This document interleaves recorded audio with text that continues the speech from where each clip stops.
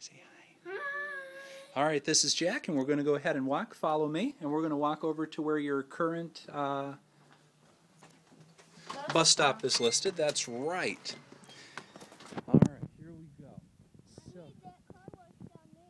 oh, that's really cool, Jack. So here we go. So we're coming out to the end of the street, and you'll want to be sure that you look both ways. All right, it's safe. Good job. And now we're going to come down this way. So, so far, so good. And we're going to walk down here to the end of the street up here to Stone Road. We're going to the laundromat. We're headed that direction. That's right, buddy. You can go ahead and run ahead if you want. I'll keep up with you. That's right. Now, the level of traffic right now is a little bit lower than it might be at his pickup time at 8:49, but uh, may, may be comparable. So, at this point, there's still no problems. We're walking over to, yeah, there you are. You can wave, buddy. walking over and coming here. Now, we understand that Jack will not have to cross the street. That's very, very reasonable. Our preference, our hope would be to be able to have Jack stop here at this corner, right at the corner of Bonesteel and Stone Road, because it is a very, very busy road here. But what I'm going to do now, look both ways, what we're going to do now is walk this way, and let's see if we can find 919 Stone Road. So there's 977. There's 977, 955. 965. So keep coming, and we're going to keep walking down and see if we can find. 980 over there. So we're heading in the right direction. Run ahead and see if you can find 919, buddy. 955. Uh huh. Yep. So again, at this point, certainly there's been uh, no crossing streets, but we have uh, spent quite a bit of time here walking down Stone Road. 954.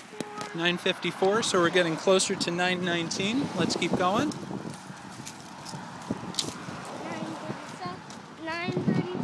937. 937, you said? Yep. 927. All right. All right, and we are looking for 919. Now we've got to look on that side. Oh, so you think 919 is going to be on this side of the street, Jack? 919. Okay, so at this point, here's what we've done. The expectation at this point is that Jack would be outside 919 Stone Road. Come ahead here, buddy, and you can stand here and face me. Turn around, face me. You can wave, say hi. Yeah.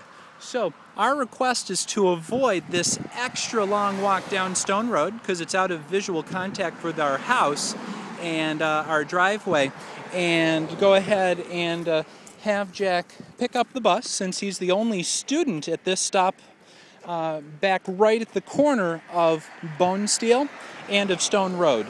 Uh, it sounds like since Jack's the only student at the bus stop, there'd be no need to uh, uh, keep him at the 919 Stone Road location because uh, he's the only student at this stop.